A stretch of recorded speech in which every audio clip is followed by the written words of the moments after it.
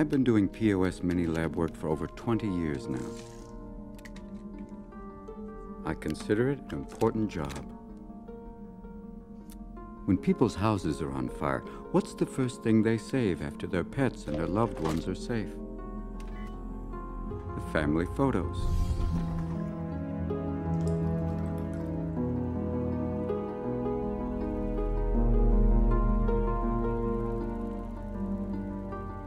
Some people think that this is a job for a clerk.